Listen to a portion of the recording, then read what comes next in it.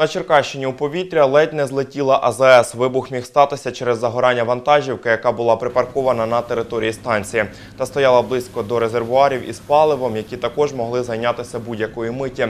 Запобігти вибуху вдалося завдяки вчасним діям водія та персоналу станції. Вони виштовхали авто із території АЗС.